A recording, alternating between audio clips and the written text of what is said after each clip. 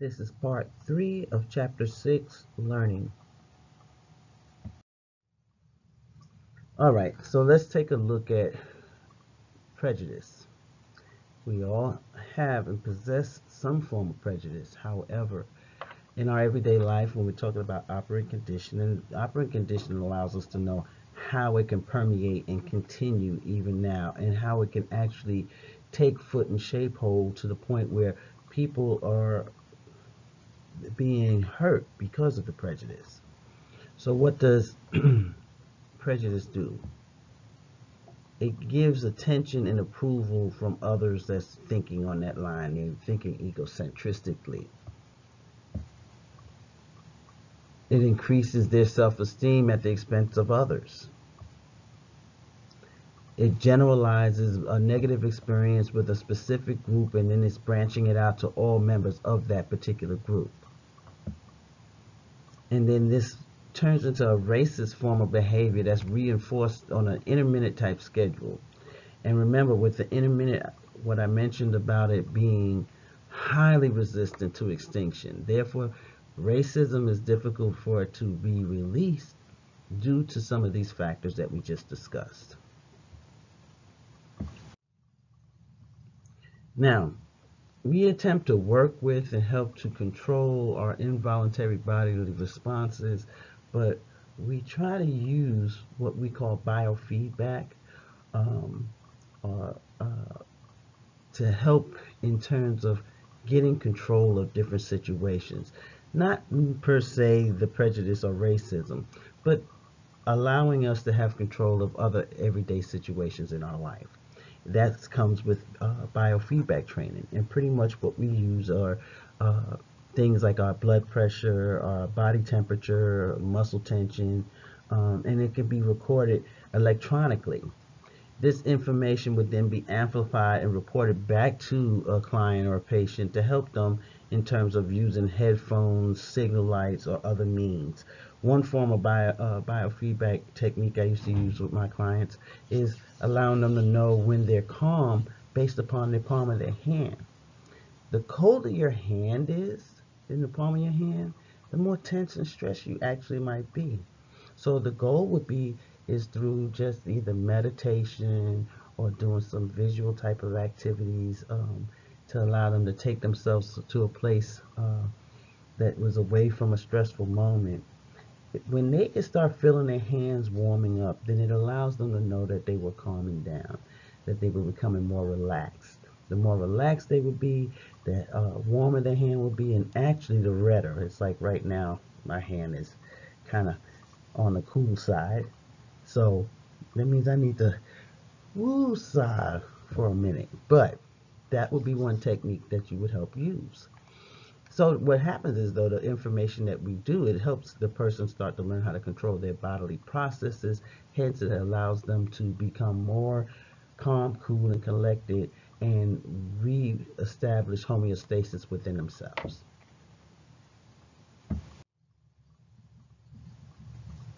Now, talk about side effects of punishment. And everybody has their own theory in regards to how punishment should be and occur. But when we're talking about punishment, um, passive aggressiveness for a person, um, um, punishment can lead to frustration, to anger, and eventually it can also lead to aggression. So passive aggressiveness is something that we look at. But most of us have been able to learn from experience, okay? And that retaliatory type of aggression toward a punisher, especially one who's bigger or more powerful than you, is kind of followed up more with the punishment. So therefore, we tend to try to control our actions or our impulse in, in open aggression, and instead we'll resort to more subtle techniques like showing up late or avoiding um, avoiding the situation, forgetting mail or letters, and that's kind of known as that uh, passive aggressiveness as well. The avoidance behavior, no one likes to be punished. So we kind of naturally will try to avoid the punisher. So every time you come home from, from um, home to your mom or dad, uh, even if you're married, and your spouse or they're yelling at you, you'll kind of delay coming home and try to find somewhere else to be. Inappropriate modeling. This is when you're, um, you know, well, have you ever seen a parent spank or hit the child for hitting another child? Ironically, this is this is that type of punishing um, that's unintentionally going to serve as a model for the type of behavior they're trying to have that child stop in the first place, um, because they're doing it to them. So, temporary suppression is uh, versus elimination. Here we're talking about how punishment is generally going to suppress the behavior only momentarily, while the punisher is nearby.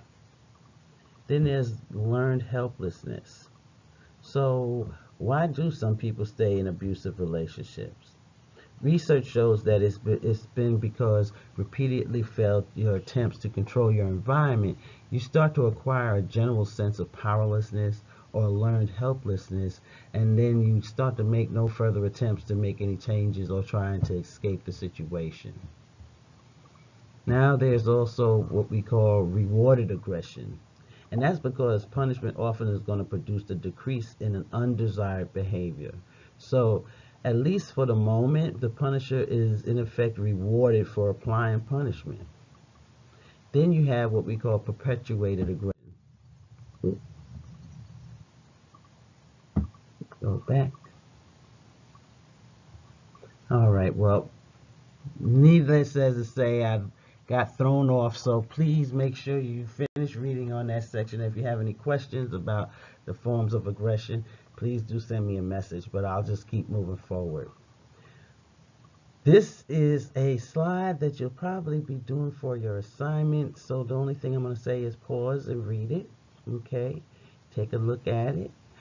Is the targeted behavior being reinforced or punished?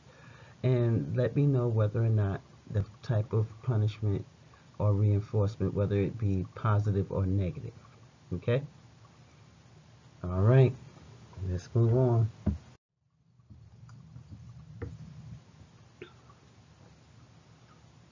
So, we've seen it all the time. We go in a grocery store, we hear a child having a fit, having an absolute fit, screaming, crying, hollering. Sometimes they throw themselves on the floor. How might you stop your child from screaming if you had a child screaming in the grocery store? Would you use corporal punishment? Or would you um, use a timeout method? What exactly would you do? Think about it, and I'm probably going to create this for a discussion board and have you put your thoughts there. All right, moving on. So what I want you to do right now is just note the consequences are the heart of operant conditioning, okay? And then when we're talking about classical conditioning, the consequences, they're kind of irrelevant because Pavlov's dogs, they still got to eat whether they salivated or not. But when we're talking about operant conditioning, here is voluntary and um, a person would voluntarily perform the behavior, which the, then that would be the operant and it's going to produce a consequence. And that'll be either through reinforcement or punishment. So think of it like this. Reinforcement strengthens the response, making it more likely to recur.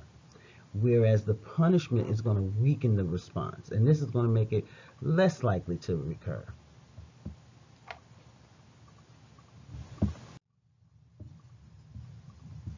Here's another type of slide that I'm not going to really go over because it's an assignment type thing, but it uh, helps you to practice what I would like for you to do um, in each of these examples. Do decide whether or not the situation would be classical or operant conditioning. And once you've been able to label it, for example, if you say that the situation um, or the vignette was classical conditioning, then I need you to say what's going to be the unconditioned um, stimulus, what would be the unconditioned response, what would be the conditioned stimulus, and what would be the conditioned response.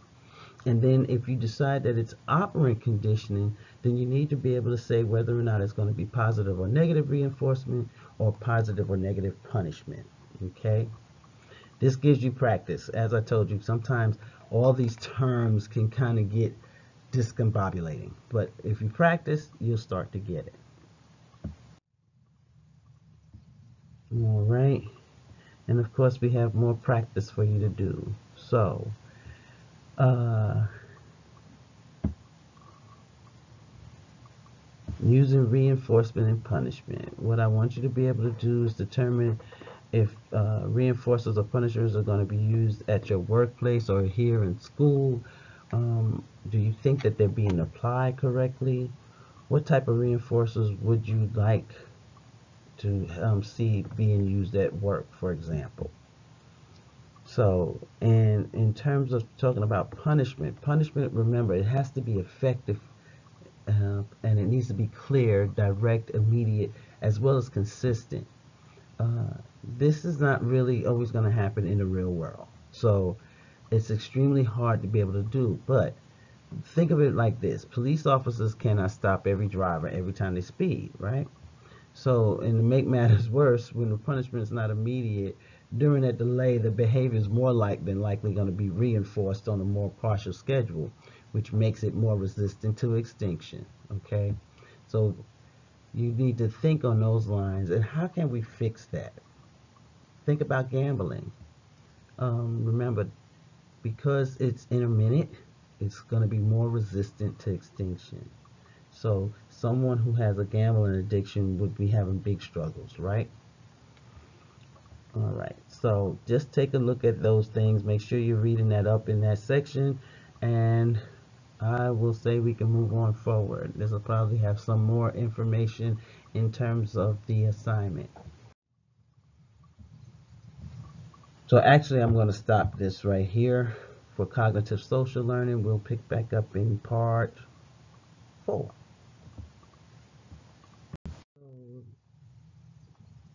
Continuing with cognitive learning, another of Köhler's uh, chimps, this one was, he was an intelligent little guy named Sultan. Um, and he was put in a similar type of situation as we discussed. This time, though, there were two sticks that was available to him, and the banana was placed even farther away, too far to reach uh, with a single stick. So Sultan seemingly he kind of lost interest in the banana. But as he continued to play with the sticks, he kind of later discovered that he could take the two sticks and interlock them together that he would instantly now have a longer stick that would be able to pull that banana to him. So Köhler, he kind of designated this type of learning as insight learning because some of the um, internal mental events that occurred, he had actually could only uh, describe as insight. And it went on between the presentation of the banana and the uh, use of the stick to be able to retrieve that banana. Now, like Köhler, Edward Tolman, uh, he kind of believed that previous researchers underestimated animals' cognitive processing as well as cognitive learning and he took note that when it was allowed to be able to roam aimlessly in an experimental maze with no food reward at the end, that rats would seem to develop a cognitive map, so to speak, or a mental representation of that maze. So to be able to test this idea of cognitive learning, Tolman allowed one group of rats to aimlessly explore a maze with no reinforcement whatsoever. The second group he allowed um, was kind of reinforced with the food whenever they would reach the end of the maze. And then there was even a third group that wasn't rewarded during the first 10 days of a, the trial that he did. But starting on the 11th day, he was able to, he gave them the food at the end of the maze. Now, as expected from simple operant conditioning, the first and third groups they kind of was slow to learn that maze, whereas that second group who got the food at the uh, and reinforcement at the very end of the maze, they were fast and steady uh, and constantly showed improvements. However, when the third group started receiving reinforcement, again they got it on the 11th day, their learning quickly caught up to that second group um, that was being reinforced every time. What this shows is, is that these non-reinforced rats had kind of been thinking about building cognitive maps of the area during the aimless wandering that they did. Um, and their latent learning only showed up when there was a reason for it to display it, and that being when the food was being rewarded. So what you want to uh, make sure you have a good understanding about is insight learning, and that again is the sudden understanding of a problem that implies a solution. The latent learning is that hidden learning that kind of happens and exists without behavioral type of signs or um, prompts. And then cognitive maps, that mental image of a three-dimensional space that we as organisms use to navigate.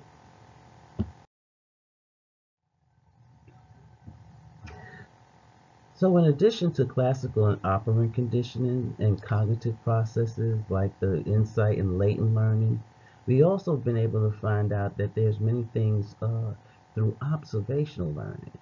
So from birth to uh, when we die, we use observational learning and it's really important in terms of our biological psychology as well as our social survival, that being, if you remember, the biopsychosocial model watching these others kind of helps us to avoid dangerous situations in our environment. It lets us know how to think and feel, as well as being able to show us how to act and interact socially. Now, according to Bandura, observational learning requires at least four separate type of processes, that being attention, retention, reproduction, as well as reinforcement.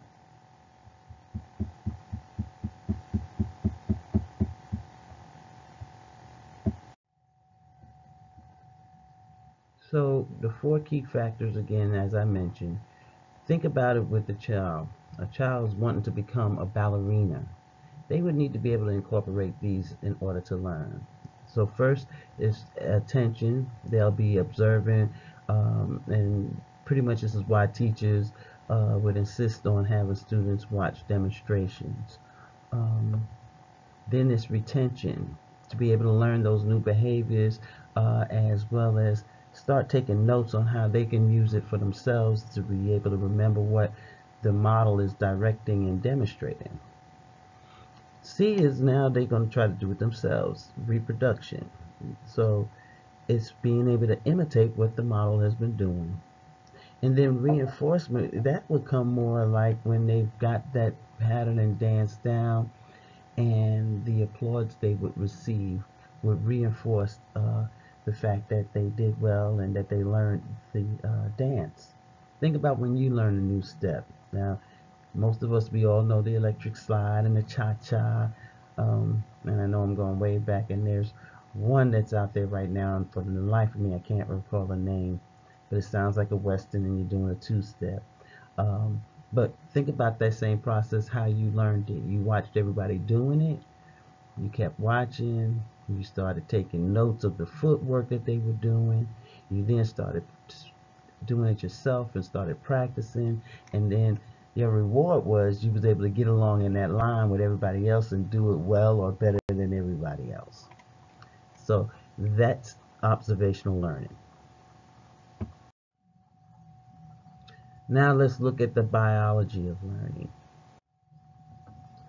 So admittedly, um, it is a big leap when we're talking about rats to humans, but research have been able to show that human the human brain also responds to environmental conditions similar to like rats. Okay.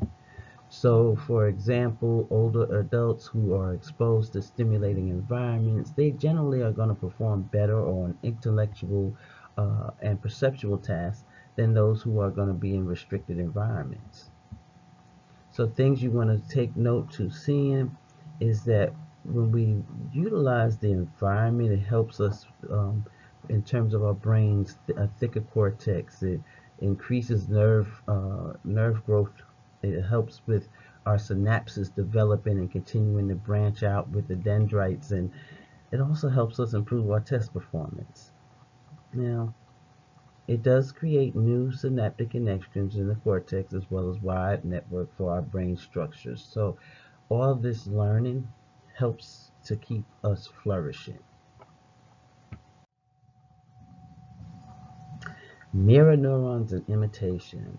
Now, in a series that's been well known, as a well known study, Andrew Meltzoff and Keith Moore, they kind of found that newborns could imitate facial movements as tongue protrusions, uh, mouth opening, as well as lip pursing. Now, I love this part because I used to have fun doing that with my son. And my oldest son, he used to come up with the, he used to do all my crazy looks and faces, and it just amazed me. Um, but when we're talking about mirror neurons, just remember it's believed to help us with our empathy as well as imita imitation. Um, excuse me. You'll see it actually impacts several key areas of our brains. It allows us to be able to identify um, and see how others are feeling besides ourselves. And the thing is, we still don't know just how much our neurons develop through actions of the environment and um, our imitating life experiences.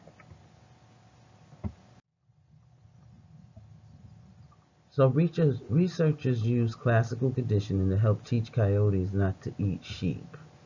It was possible.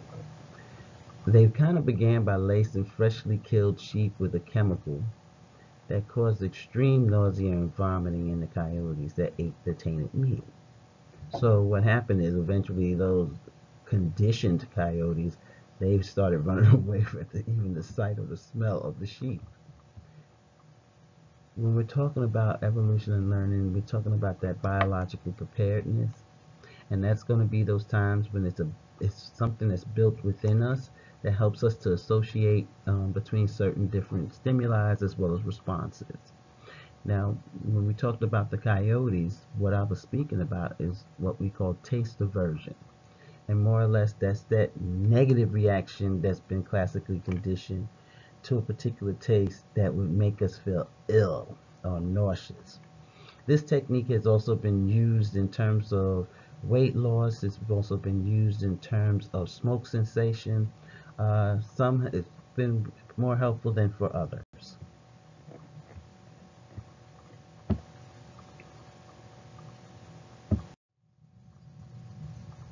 Now, through shaping as well as reinforcement, a chicken can first learn to pull a loop that will be activated by a swinging bat. And later we've been able to learn that it actually would hit the ball. However, instead of running to first base, it may chase the ball as though it was food. But regardless of the lack of reinforcement for chasing the ball, the chicken's natural behavior would take precedence. Now, why am I talking about all this? Can a chicken learn to play baseball? We see that there's some uh, possibilities and as well as some limitations. But this is a biological constraint that's known as instinctive drift. Okay? So these biological constraints are considered to be conditioned responses that helps one to shift from and to uh, our innate responses, what we feel automatically should be done compared to what is being presented to us. And an instinctive drift is that when uh, we kind of move back toward our innate responses. It's going to be conditioned responses that we kind of shift away from and back to what we know naturally.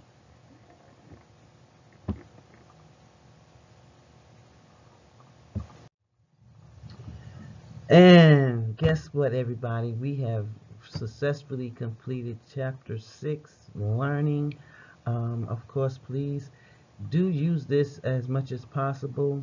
You can find these two videos on um, online at the Science Central.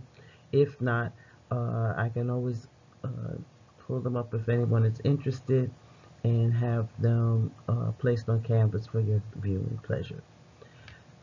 We will be getting started uh, shortly on our next chapter, but everybody have a great day.